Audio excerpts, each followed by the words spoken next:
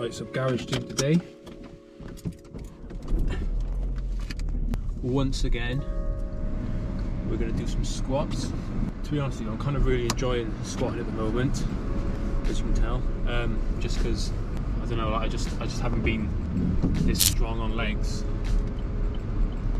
in ages, and uh, it's just a good feeling, just sort of doing some decent weight again, which is nice. I'm also quite excited because I've just bought uh, a new belt. Um, it's the it's the lever it's the lever class one where you just sort of like it's four prongs and they go in and then you like yeah it's like a lever thing. It's like a thicker one.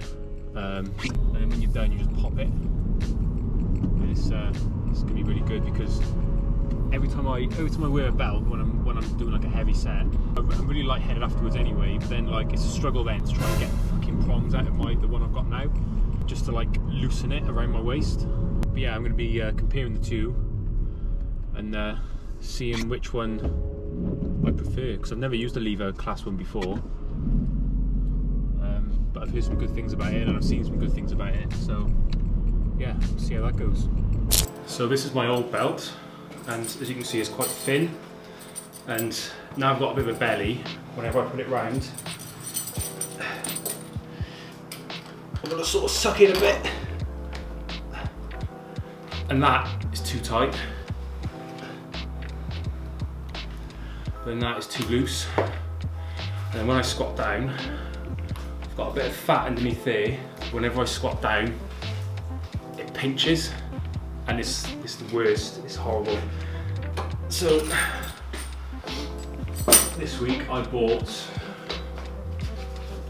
lever class belt but I, I ordered it on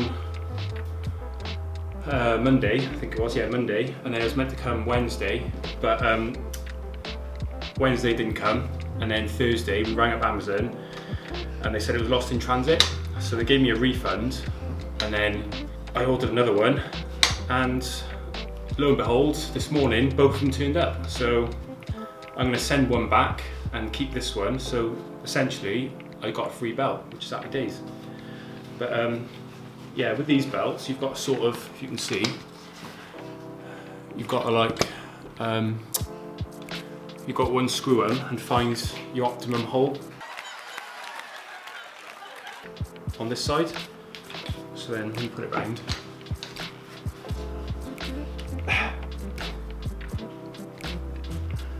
Goes in those four holes below.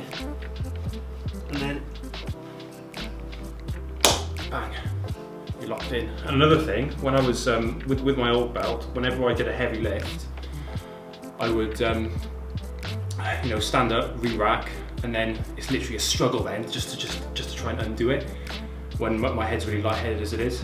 Um, but with this, literally when I'm done, I can just go bang, and it's just released. But yeah, we'll see how I get on, and uh, I'll let you know.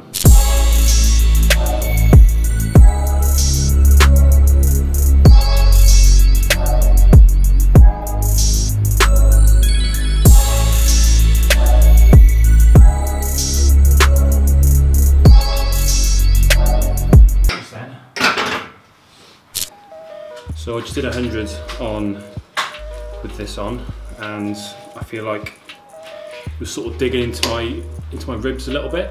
Um,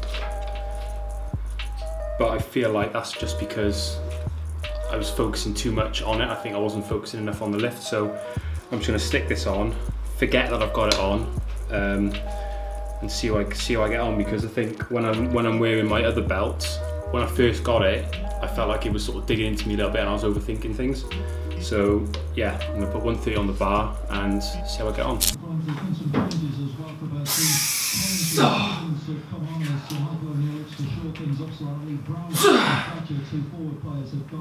Let's go.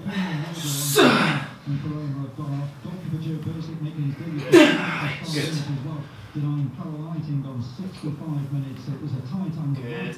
Oh, fucking easy. Yeah. Oh, felt really good.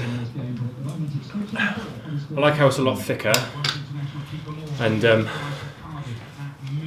all of my thought, my thought process is just through the legs. And yeah, that felt really good. Just just stopped worrying about my back. So back was fine. And yeah, just a nice solid posterior chain. Thanks to this. And then